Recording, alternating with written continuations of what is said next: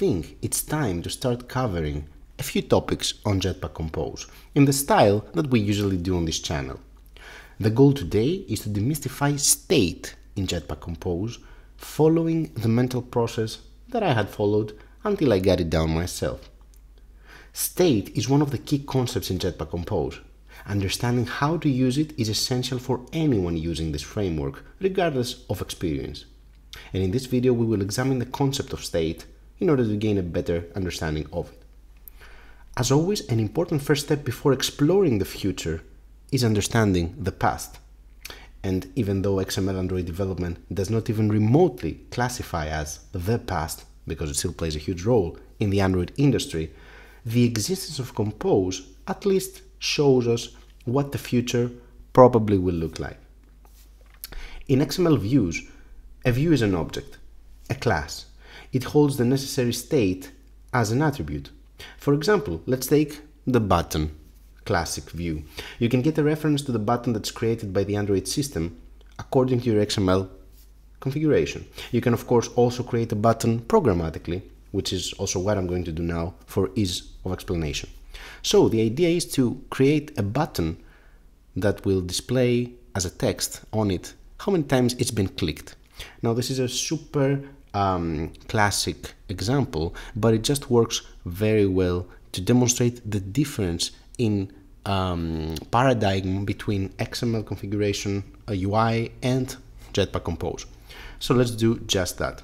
I'm going to create a new button programmatically. So as we said, a button is a class, so it has its own constructor. It requires a context, so I'm gonna dummy fragment right now, just for ease of explanation. So I will require context for that. And I'm also going to create a counter that's going to be showing us how many times the button, to keep track of how many times we've clicked this button. So, as we said, a button is a class. In order to hold state, you have to set its respective attributes accordingly. So now what we have to do is, in order to set the text of the button to show the value of the counter, we actually need to access the getter, um, uh, the setter of the button. So we're gonna go button and using a Kotlin syntax, we get access to the text field and we actually can easily show the button in a string. Now, it says that it's always zero, of course, it's always zero, but we're not done yet. Now we need to actually perform the functionality, implement the functionality to increment this counter every time a button is clicked. So how can we do that? That's pretty easy. We can set a click listener and here every time it's clicked we can increment the counter but incrementing the counter will not actually change the text of the button because the value of the text field inside the button is still what it used to which is zero in this case so we need to recall this line of code here. So every time we increment the counter we also update the text of the button. And this should work. I'm going to run that just for uh, demonstration purposes, even though it's pretty simple code. Um, oh, of course, we have created the button, but we're not actually inflating that button in the actual frame layout. So let's do this, just that. I have a frame layout and we can add the button like so, and the fragment returns that same frame layout. So I'm ready to run it again now. So let's see if we have the button down. Oh yeah, we have a button that spans the whole screen. And it shows zero. That's a good first step. If I click it, of course, one, two, three, everything works as expected. Now in Jetpack Compose, uh, a new approach is introduced, building the user interface, where composables are functions that accept data as arguments and then render the UI with those data. When the data changes, the composable functions are re-executed with the updated data, a process known as recomposition. So I'm going to delete everything I've written so far. That's classic view style. And what I'm going to do is I'm going to create a composable function. So we have a composable and we're going to, this is very simple. Uh, so I'm going to name it my button uh, and this button will just have an compose button uh, that takes an argument for the onClick method and inside we can use a text to display something. Uh, what that something is also we're going to need an, a counter again. So let's have a counter that's going to be zero. Oops and that's going to be zero. And then we can set the text of that text um, to zero. Of course here in the on click callback we can increment the counter. Now we know that since compose follows the data changes now we don't actually have to change anything else. We don't actually have to go and say you know what? This text update your uh, text field to the new counter value. It should happen automatically. That's the idea. Also in order to have that uh, fragment return my composable function I'm going to use a compose view that also requires a context and then with applying to that, I'm going to set the content of the fragment to the my button function. Perfect. Let's run that. Let's see how state will play a role now. Our state obviously is the counter. Okay, this time our button is uh, nice purple here. So if I click it, of course, it increments the counter, but it does nothing. Why? Because if it did, then every time you would change anything inside here would cause a recomposition and compose that doesn't want that it wants you to declare explicitly what do you want to be um, set as a state in a composable function. Not every variable should be a state because then you wouldn't be able to even change anything without having the UI recompose. You need an indicator. Now, this could have been implemented by the compose team in many different ways. For example, it could be um, a special annotation that you would have to put before having a variable as a state. And it could be something like stateful variable, and then the compiler would know that this is a thing that it has to observe for changes before recomposing the UI. Well, in uh, the, the decision that the design team made of uh, Jetpack Compose was to create a new wrapper class that's called state. So uh, this state also has a mutable state implementation to hold data. So what I'm going to do, it's the same thing as we could have with the live data, for example. We can create a mutable state of, and this is the constructor of creating a state variable. And look what, what has happened here. We basically have created a state, and because this is a wrapper of an integer, you cannot directly access it here. You can see that the compiler says that you cannot do that. So you have to use the value attribute and now everything works. Of course, you can see that we still have something red that shows us something's wrong. Even though we classified counter to be state, it still seems to be something wrong. Let's see what it is creating a state object during composition without using remember. Okay, so this brings us to the next topic.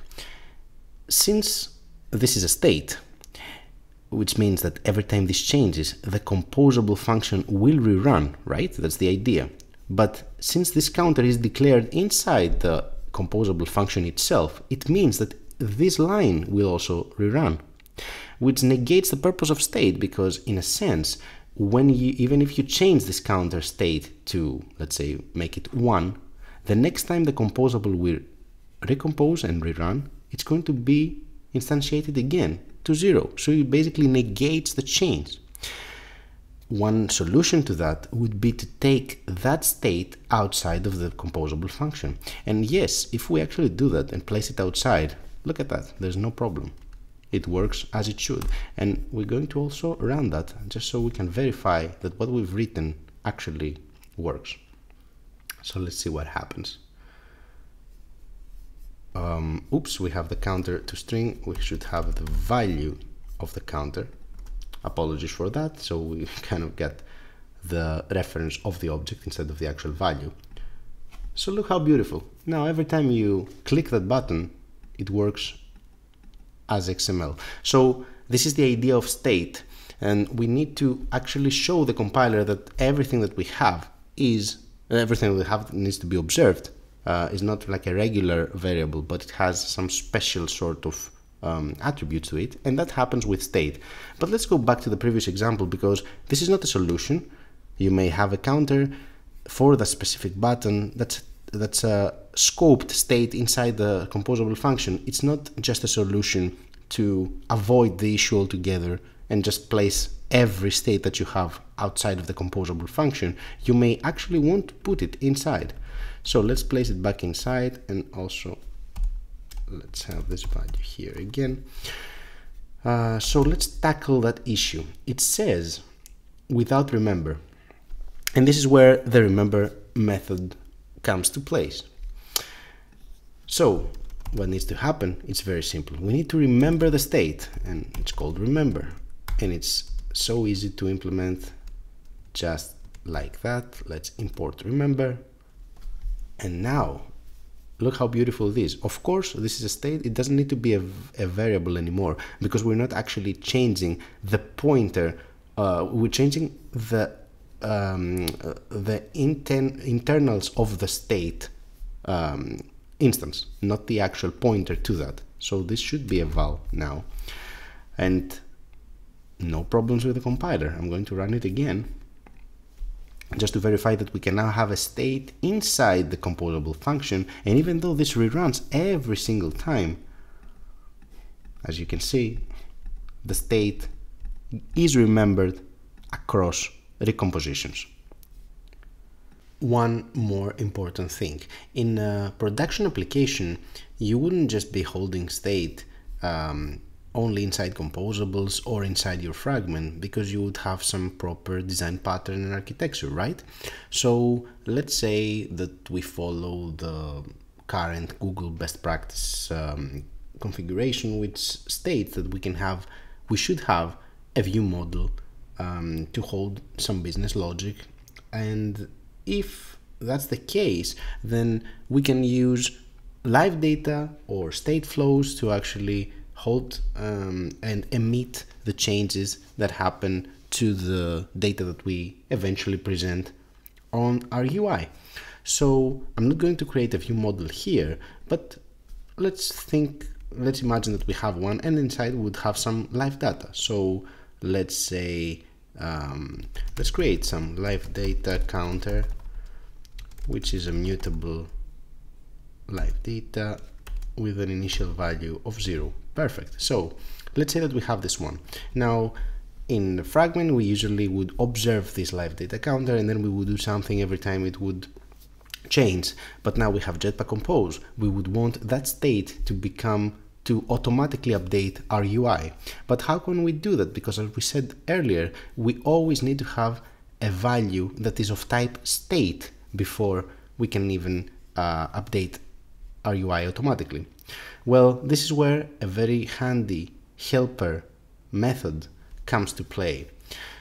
And this is observe as state. So let's forget about this counter here and let's make our counter inside our composable function be the live data counter. Of course, this would actually reference the view models live data variable. And we can have this beautiful, we, we, first of all, we need to declare this could be an int and I'm going to make it nullable because this is what is required by the observe as state method. And look what happens here. This returns a type of state int. So observe as state and as you can see oh I'm sorry we have to use the by keyword here and as no method get value. Okay let's import get value Okay, thank you. This is some problem uh, that I've also seen on uh, Stack Overflow happening a lot and has also happened to me in the past. There's some problems with the imports. Uh, you need to import the, um, let's see which one it is. We need to import the get value of compose runtime. This was what did the trick here let's remove those and let's get back to where we were. So we've observing as state, which, mean, which means that this counter here should update our UI if it gets referenced inside. Now this is an int because we use the by keyword and this is what this delegate does. So I don't need the value anymore. And of course we wouldn't change the actual counter here. We would change the live data counter. So we would go to our view model and say a live data counter value, we need to be what it was incremented by one. Yes and this is nullable of course. And inside here we don't need the value anymore. We can directly access that counter. So what we've done is we replaced a mutable state of value that we had with actual live data. And this would this can work with Kotlin flows and it can also work with RxJava. There is the respective observe um, method for every one of them. So that's very helpful. That's very important. Let's run that. Let's see if we manage to keep the behavior the same using live data this time. Okay, so I'm clicking it and it works like a charm. So this was one last important thing that I wanted to say. So let's recap. We need to have a state wrapper of every data that we want to observe as a state inside our composable. Every time a type, a value that is of type state changes, then compose knows that you're using it in your UI and then looks for the changes and applies them um, in a very smart way. It's so smart that sometimes you can even uh, have it. Uh, I mean, remember the problem we had before? We want to use remember because we've had mutable state of it wouldn't work. Well, if you try to run it, despite the compiler issue, uh, you know, as a matter of fact, let me try that. Let me try that. We had the counter, so let's not remember that anymore. And we want as a mutable state of, yes, thank you, import that. Now let it complain, let it complain. So what I'm going to do, I'm going to take that counter and I'm going to increment the value and I'm going to use that counter value this time inside here. So even though this complains here, it can work, it will build. I'm going to try to build it. Let me see. Yep, it actually builds, so no problem despite that error here. And the amazing thing is that it actually works. And this is, of course, a very advanced, different discussion that we're not going to get into it now, but I'm just showing it as an example to prove that Jetpack Compose is very smart. What it actually does, it behind the scenes, it runs only a part of the composable method that responds to the change that actually happen. So in this case, it doesn't really run that line every time. So sometimes it can directly just change this uh, line of code, so only updating the value and not resetting the counter. Of course, you should never um, bet on it. Remember, is actually mandatory in a regular application, but I'm just showing it to you to prove that it's not so simple and sometimes Compose can be even smarter than you think. So back to the recapitulation, we have to have a state so the Compose knows what to update because without this it doesn't know and it's not going to update your UI every time anything changes. So that's one thing. You need to have remember every time you use the state inside the composable function so as to preserve it throughout recompositions.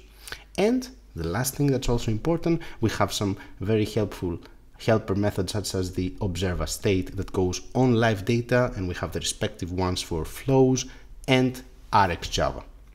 So thank you very much for watching and I'll see you around.